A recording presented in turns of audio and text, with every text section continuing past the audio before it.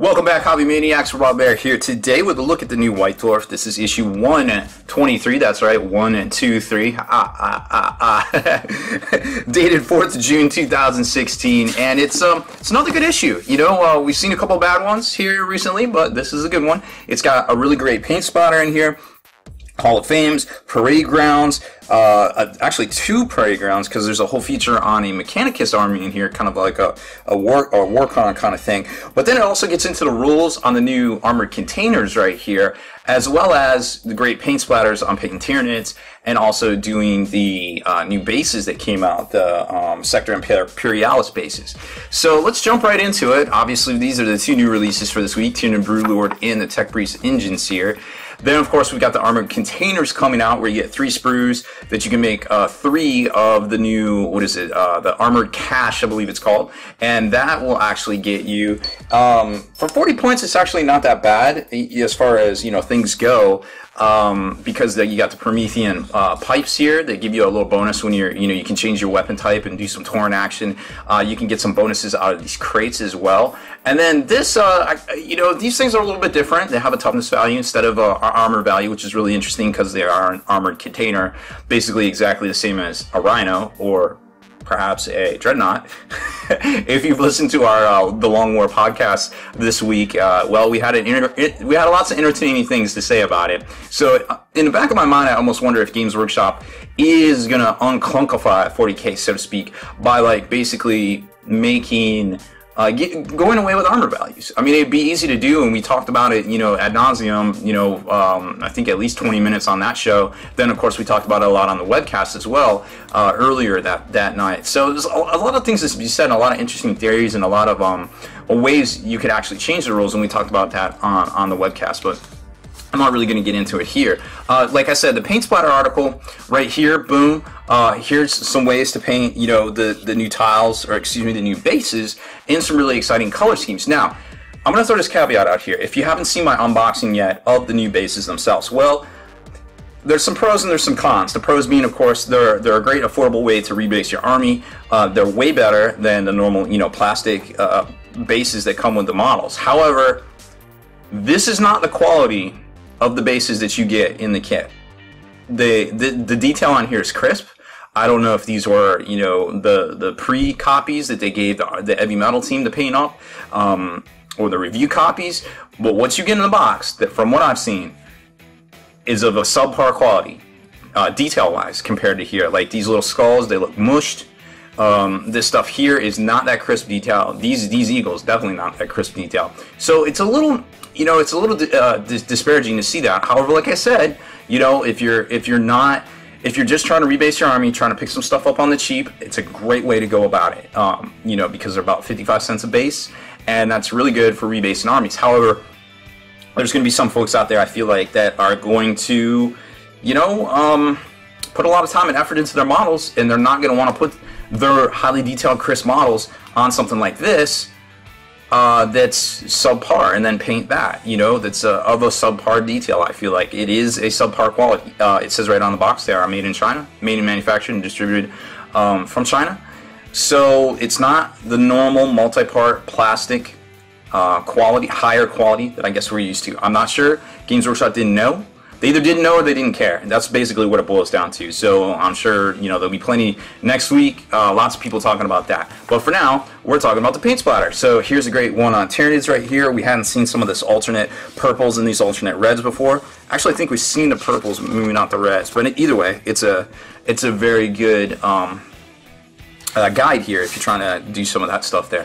Now also the Nurgle Demon Prince um, he's kind of interesting because this was originally a pewter model, kicked over to Finecast. You can still get him. Great, great miniature. Came out about 2006, so it's about two, uh, 10 years old now. And then we've got the feature on the Flesh is Weak also in here, which is kind of like a little Warcom, not, but not really. You know, you always see a Titan in uh, AdMech army, you're like, oh, it's Warcom, but not, not necessarily. um, looks great, obviously. And then we get to the back. Oh, I wanted to show you that data sheet just for some of you folks out there that might be picking this up for that. It is the data sheet. It's a full-on data sheet. This wasn't in the rules that come in the box, or at least that we've seen uh, leaked, you know, from that eBay uh, people that had them up on eBay. But this is basically the data sheet, the full-on data sheet um, with all the rules, not just like the little one-page insert that comes in the box. So it's laid out a little bit better. Who knows if we'll see this in the reprint of, you know, like uh, the Stronghold Assault uh, terrain uh, book. It's really hard to say, right? So there's that. Um, then you get to the back, and we've got a really exciting teaser, which a lot of folks are saying might be the Lost Patrol, which is supposedly coming out next week. But uh, some of the folks that have already gotten press copies of the Lost Patrol have not seen this anywhere in the the actual, um, uh, I guess, kit itself. There's no Antonius in there. There's nothing like that. So unless there's like a narrative story that's perhaps going to be in the White Dwarf, um, well, then uh, looks like that may not be the case. Who knows? Uh, we'll, we'll find out, I'm sure, when we start seeing the White Dwarf early next week uh, from all the various sources out there uh, across the world. So that's pretty much it. I mean, there's some pretty good features in here. Um, for the most part, it's definitely one worth picking up for the paint splatter, you know, between the Tyranids and uh, the new basing stuff right here. Um, you know, as far as everything else goes in here, and of course you got rules. So I mean, the, for the four bucks or so, it's probably not like a you know definitely not a waste this week, and not like some of the, the filler issues that we've uh, that we've seen in the past here. So that's about it for this one, folks. Uh, hope everybody had a good Memorial Day weekend or bank holiday weekend here in the states. So uh, we'll get back on track here uh, next week.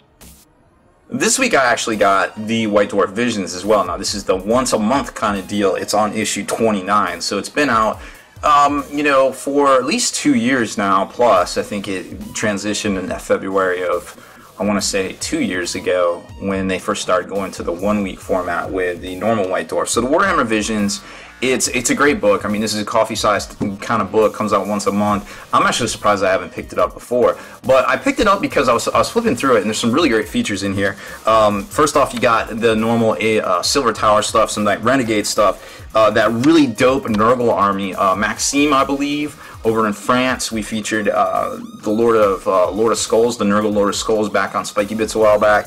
Um, that they did the battle for Phall, which uh, which was like the Phall engagement, you know, uh, where the Iron Warriors were fighting the Imperial Fist, and it was a big spaceborne battle, and they took the Con- uh, Contador, and which was the Iron Warriors flagship at the time, I stole it, and basically jumped to Terra with it at the end when the Rogal Dorn finally got through with their message. But they had that huge Forge display board from a few years ago uh, showcased in here as well. So this is a really great book. Like it's it, it's all sorts of showcase things. So first up, they show you know the Silver Tower stuff. I mean, it's just it's a beautiful book. Like no, it's got different editions of the language. They only had to put one out, and they ship it kind of everywhere, kind of deal. So you're not you're not necessarily all of this is content. It's just different versions. But I mean, as far as having this in your hands and looking at it, uh, is pretty spectacular. And they go over the stuff that came out the month before. So like basically, you know, the, the Death from the Sky stuff, and then of course the Silver Tower stuff. Um, so it's always kind of like a month in arrears, so to speak.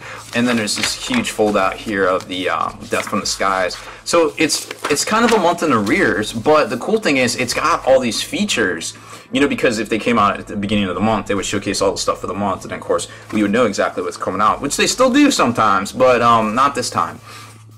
So it showcases all this stuff, you know, the Terrorgeist, you know, some Warhammer Fantasy slash Age of Sigmar, the Renegade box, you know, that came out, the huge War well, Forge World Titan that just came out with all the new pieces here today, actually.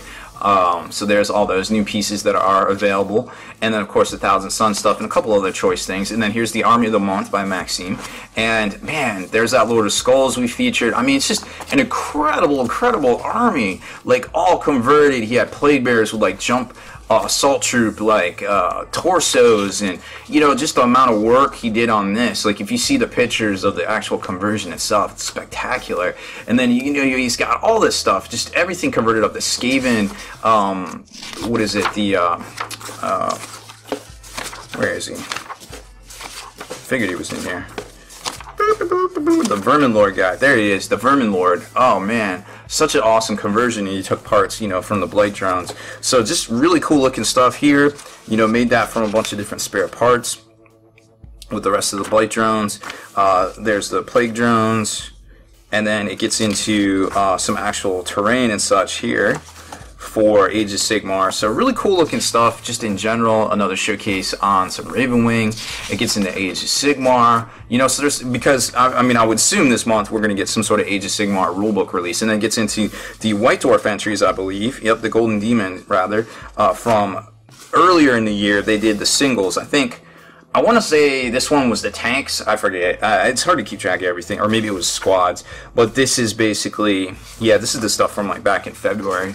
I think this was one that one there. Um, so really cool looking stuff in here. I mean, this is just something cool to just keep on a coffee table and just like check it out, you know. And uh, you know, you can just kind of flip through it while you're watching TV or whatever and get some inspiration because some hobby inspiration because they don't really do the catalogs anymore. Um, and then another big army there for uh, Age of Sigmar. So, oh, and here's the one feature I wanted to show you the Battle for Phall table. Um, there you can kind of see the taking of the Contador of course, the Iron Warriors flagship, and then you got all the all the cool looking um, Iron Warriors versus Imperial Fist right there, and then more of it where they used uh, the Zone Mortalis tiles to, and some of the stuff from the boards that they eventually created uh, to really make that big uh, kind of scene, you know, the inside of the ship, you know, just a one section of the whole ship, and then you can see where it's got the you know defense lasers and things all shooting out, guys jumping out of the uh, the sewer or the uh, you know waste uh, um, tubes and things like that. And there you can see they're battling for power generators in different spots. Some dudes tore apart.